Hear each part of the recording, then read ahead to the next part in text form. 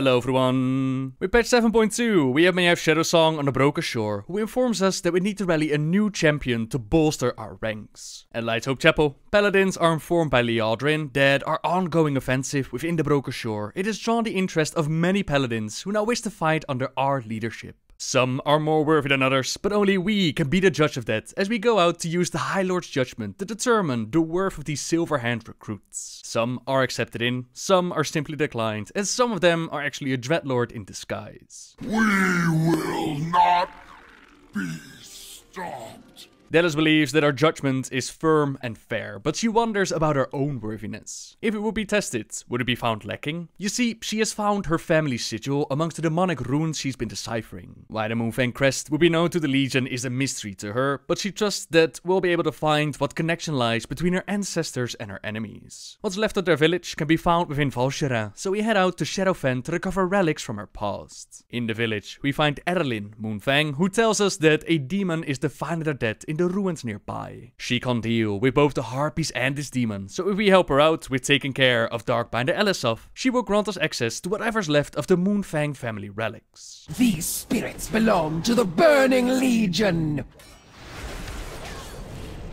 My death will not break the pact.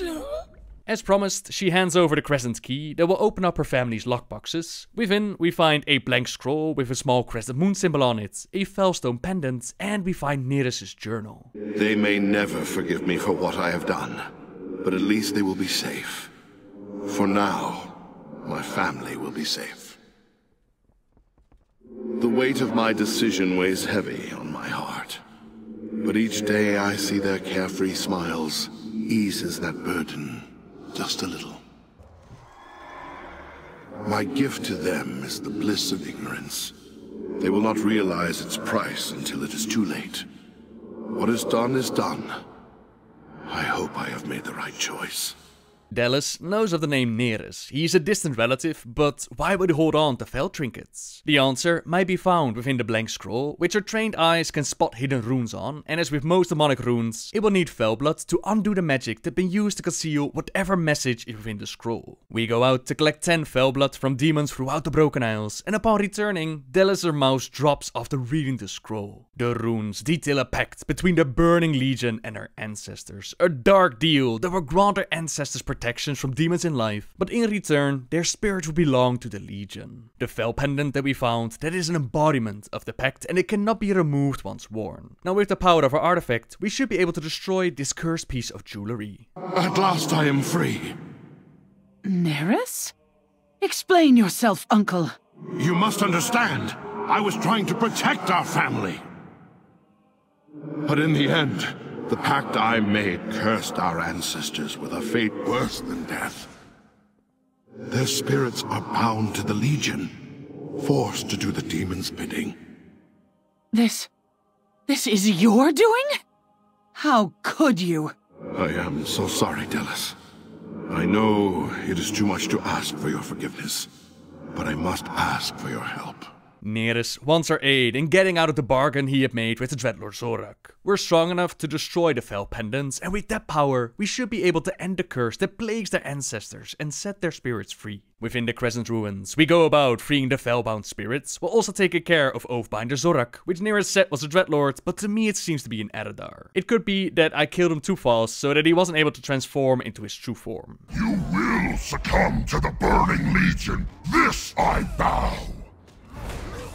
Those barriers cannot be. With Zorak dead, their ancestor spirits can finally be free of their curse. Nerus knows that he has much to answer for, and he like to follow Delas her lead by lending his aid to the Order. Another Night Elf Paladin joined the fight against the Legion. I know I have much to answer for.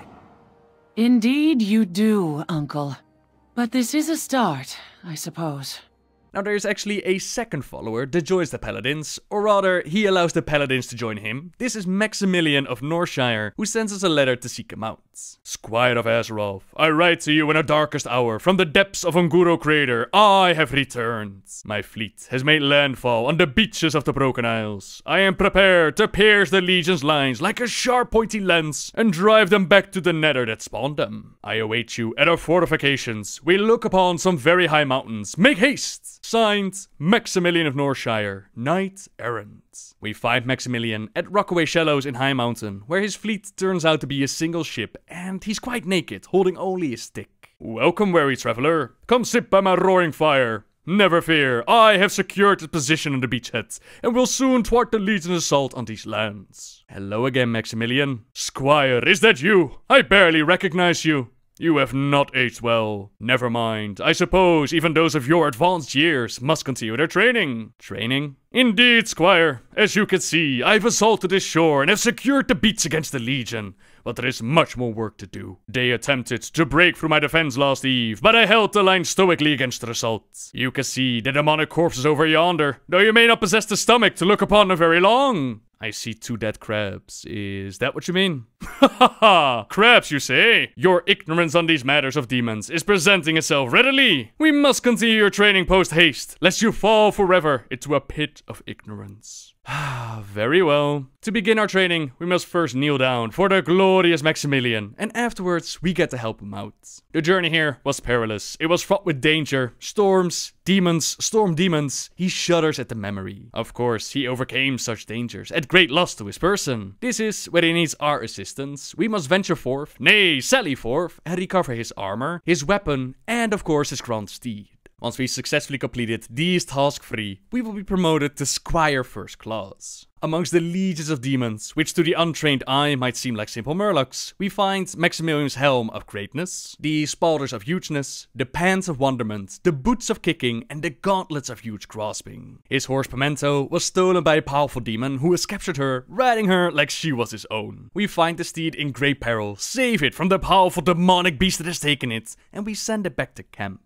Finally, there's the matter of Excaliburto, also stolen, and we must retrieve this powerful artifact, which is not really an artifact weapon at all, as the squire is supposed to. Upon returning to camp, Maximillian strikes a powerful pose as he claims his artifact once more, which apparently comes with a shield, and he does a little dance as he puts on his armor. Now that we've secured his belongings, we're ready for the real quest, since he did not journey here simply to thwart the demon invasion. Oh no, he came here in search of his beloved, his loved Deloria. Whilst resting between slaying of dragons, he had a dream, almost a vision. It told him Deloria had been kidnapped and taken to the floating city in the sky. It must be Dalaran, so we quickly mount up and we meet Maximillian at the Legerdemain lounge, where his beloved Deloria is actually waiting. She wonders how he found her again so fast, and between just us, old Max here has no chance with her, but his heart is in the right place. She keeps trying to run away and hide from him, but he always keeps finding her. She doesn't have it in her to upset him with the truth, so she has an idea idea. Why don't we go out and kill some of those really big two-headed hill bandits for her? Let's say they stole some jewelry and we can use it to buy her freedom. Never fear, my love. We will hunt down those bandits and secure your freedom. Come, squire, I shall meet you in the mountains that are high, Maximillian says, as together we take on a mighty hill ettin. We reclaim the stolen jewelry, which looks more like teeth, and we return to buy Deloria's freedom. Except, Deloria is nowhere to be found. Indeed, there's Dolores, a troll, not a goblin, and certainly not Deloria. Dolores hasn't seen Deloria for a few days, and she's not sure who we're talking about. Oh, what poor fate. Here we are, with the jewelry to buy his beloved's freedom, and she has simply disappeared. Despite searching around the inn and asking the people if they've seen her, there's simply no trace of Deloria. She's nowhere to be found, she must have been taken once more, but we shall never rest. Maximillian invites us to join him as a follower, lead his troops and perform missions for him. Together, we will find her. Two powerful allies recruited to our cause, and we have bolstered our strength against the Legion once more. That is how Paladins obtained a new champion, which means they've reached the end of the video. Thank you very much for watching everyone. Subscribe if you like my videos, leave a like if you enjoyed this one, and until next time guys, see ya!